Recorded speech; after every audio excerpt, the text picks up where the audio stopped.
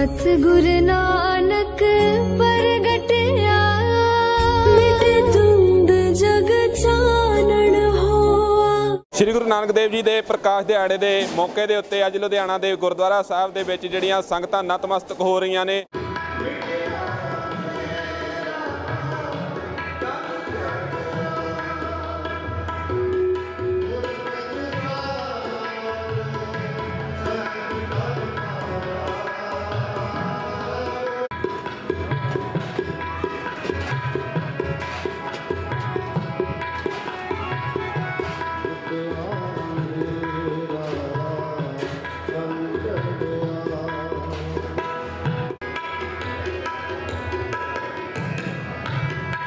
ਆਲਟਨ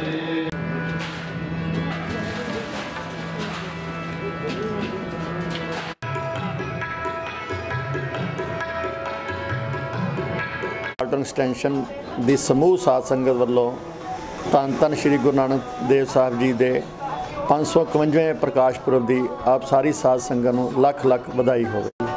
ਅੱਜ ਦੇ ਰਾਗੀ ਸਿੰਘ, ਅੱਜ ਦੇ ਪ੍ਰਸਿੱਧ ਰਾਗੀ ਸਿੰਘ ਦਰਬਾਰ ਸਾਹਿਬ ਸ੍ਰੀ ਅੰਮ੍ਰਿਤਸਰ ਤੋਂ ਭਾਈ ਵਿਕਰਮਜੀਤ ਸਿੰਘ ਜੀ, ਹਜੂਰੀ ਰਾਗੀ, ਭਾਈ ਸਾਹਿਬ ਸਿੰਘ ਜੀ ਤੇ ਭਾਈ ਗਗਨਦੀਪ ਸਿੰਘ ਜੀ, ਜਿਨ੍ਹਾਂ ਨੇ ਕੀਰਤਨ ਕਰਕੇ ਸੰਗਤਾਂ ਨੂੰ ਨਿਹਾਲ ਕੀਤਾ।